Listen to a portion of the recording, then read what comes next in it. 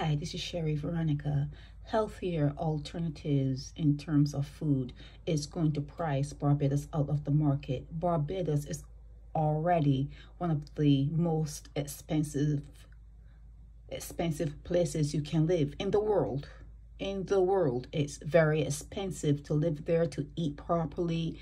It's just monumental how your money just just leaves your pocket. Your money does not stay with you.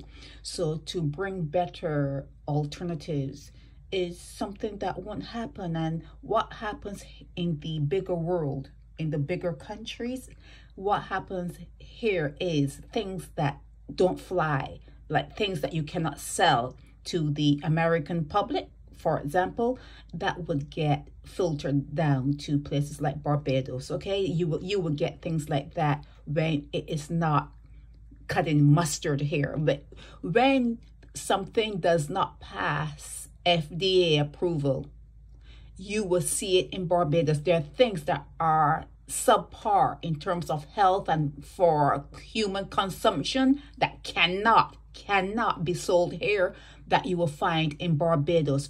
When or if you were to have some sort of reaction from it, it doesn't go anywhere. Where do you go when you buy in Barbados or when they allow, when the government, your government allow it into the island, where do you go for a resolution if you are not feeling well? There's no place to go here in America. They'll sue you and they'll sue you and they're billion dollar.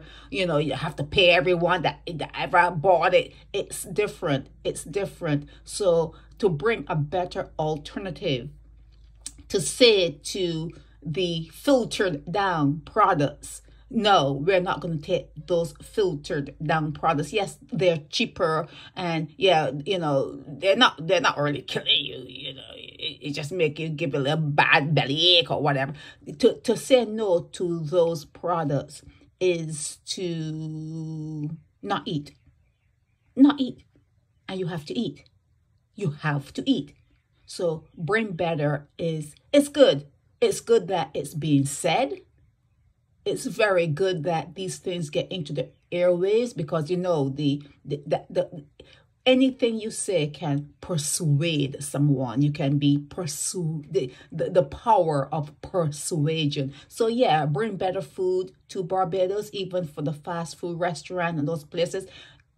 Do better do better. But it's going to be at a cost you you will you would actually cost yourself out of the market because to do better means to charge. You will have to charge maybe $40 then for a plate of food in barbados. $40 to for a plate of food in barbados. It can't happen. It cannot happen. It won't happen. Okay? But it's good that it's being talked about.